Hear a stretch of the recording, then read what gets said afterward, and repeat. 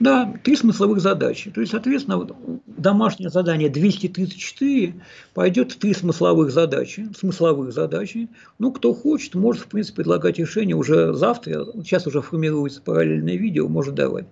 Давайте, давайте посмотрим три задачи, связанных с развитием ТРИС и смежных дисциплин, скажем так назовем. Давайте посмотрим первую задачу. Мы движемся к концу уже так далее. Соответственно, я неоднократно предлагал, ну, для коллег, то есть нигде это не внедрено, кроме как нашего такого узкого круга, что, соответственно, как бы есть, например, честный двоечник. Я знаю, что у нас сейчас в чате ряд профессиональных преподавателей, вузовских и учителей школ. Вот два, значит, ты не знаешь. Как-то кол даже из нашей школы ушел, потому что непонятно, за что кол. Как бы. Ну, тупо не знаешь, что это уже два. Да? Так вот, двоечник – это очень круто. В связи с развитием интернета появилась область отрицательных оценок, которую я предлагаю. Возможно, кто-то предлагал еще, но как бы я не нашел. Да? Так вот, это, отрицательная оценка – это количество наносимого вреда. Соответственно, я несколько раз обсуждал э, с парочкой, наверное, парочкой, да, а, парочка оценщиков бизнеса, есть такая профессия оценщик бизнеса. То есть меня интересовал вопрос, а можно ли оценить социальный вред, который наносит Ксюша Собчак? Ну, вот, допустим, молоденьким девочкам очень устойчивая психика еще, молоденьким девочкам, у которых гормональная буря, поэтому они очень внушаемые. То есть социальный вред, который наносят какие-то вот такие персонажи. Вот, э, социальный вред.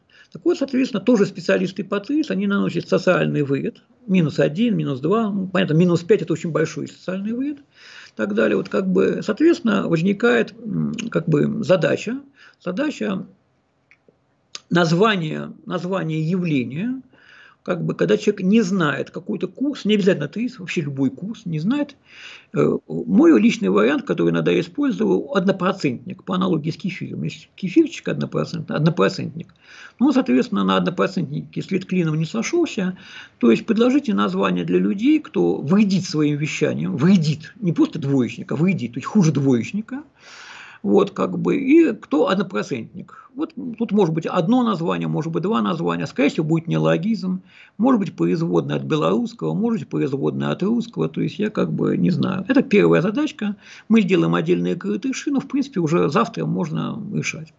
Идемте дальше. Сейчас в чате не надо активничать, всем тяжело, все устали, не надо сейчас как активничать. Да?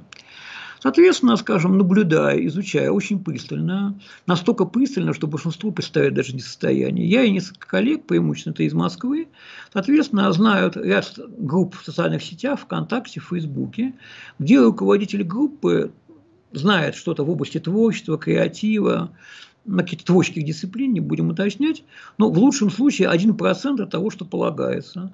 Ну, еще такое очень важное свойство – этот руководитель дурак, Просто вот бывают люди дураки. В свое время этот вопрос неоднократно спрашивали Альшулера.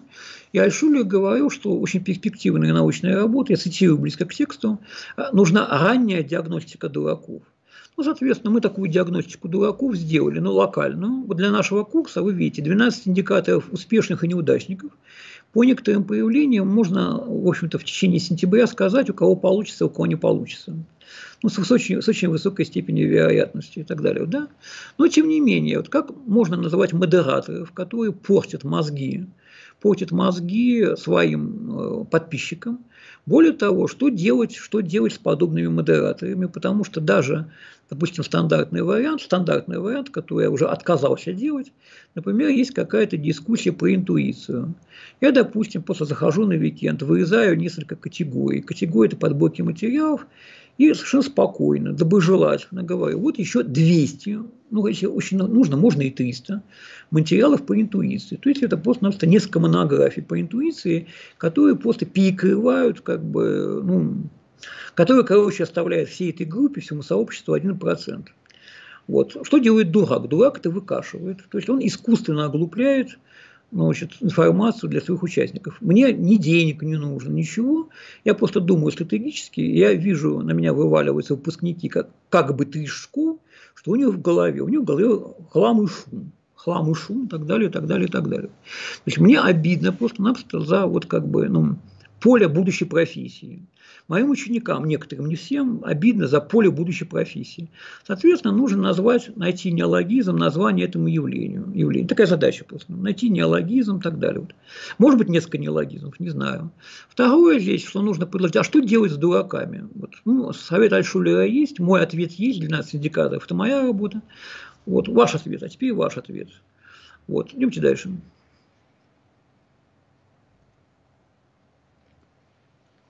Далее, все то же самое, все то же самое, люди уже не дураки, вот, они просто, просто э, такое чистое сливочное незнание, то есть они знают примерно 1%, и им кажется, что они знают многое.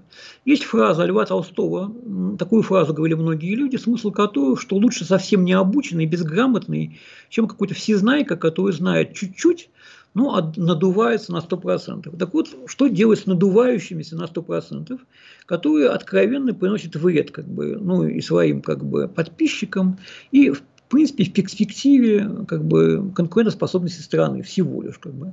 Ну, кроме того, что они портят профессиональное поле. Вот что делать? А может быть, не делать. Я как бы знаю ответ, как бы гамму ответов, но тем не менее даю задачу, чтобы вы могли подумать.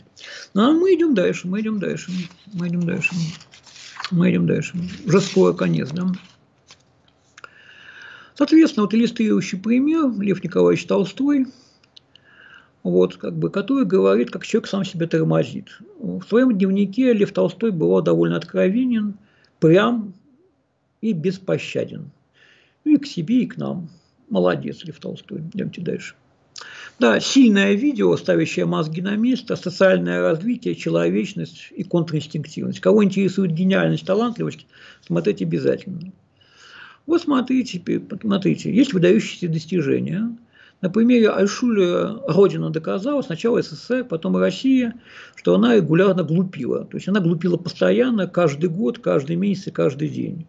Убыток то есть страна могла быть, если бы просто внедрялись какие-то чистыми руками, чистыми руками, какие-то вещи, связанные с Альшулером и ближайшим окружением, страна могла быть другая. Страна была, могла бы быть более конкурентоспособной. К сожалению, этого не произошло.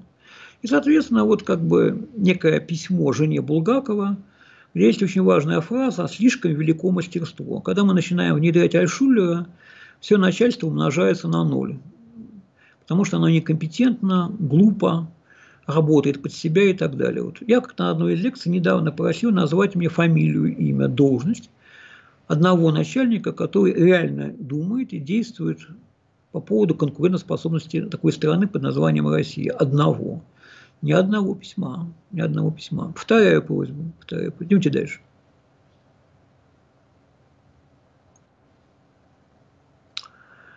Вот. Вот, соответственно, другая желтая строчка, она одновременно и про Булгакова, и про Альшулера. Ну, Булгакову повезло. Булгакову в журнале «Москва», он опубликовался в сокращенном варианте, и уже только в 70-х годах, в 70-х годах, сколько прошло времени, вышла на русском языке полностью «Мастер и Маргарита». Вот, в общем-то, ну, ЖСТЛ сложнее сильнее, чем мастер Маргарита Альшулера. Ну, думаем об этом, думаем об этом, да. То есть миллиард лет до нашей эры, который выпивается в Тугасских, есть описан некоторая одна мысль такая крамольная, которая кажется интеллигенцией кухонной, о том, что Вселенная мстит. У Альшулера в ЖСТЛ написано ну, э, более ста способов, как ближайшее окружение мстит творческой личности интеллигенция упивается Стругацкими, один ход, один ход, и не упивается более чем 100 ходами Альшулера. К вопросу о квалификации и разнице в квалификации в десятки, сотни и тысячи раз. Модератор готовим час.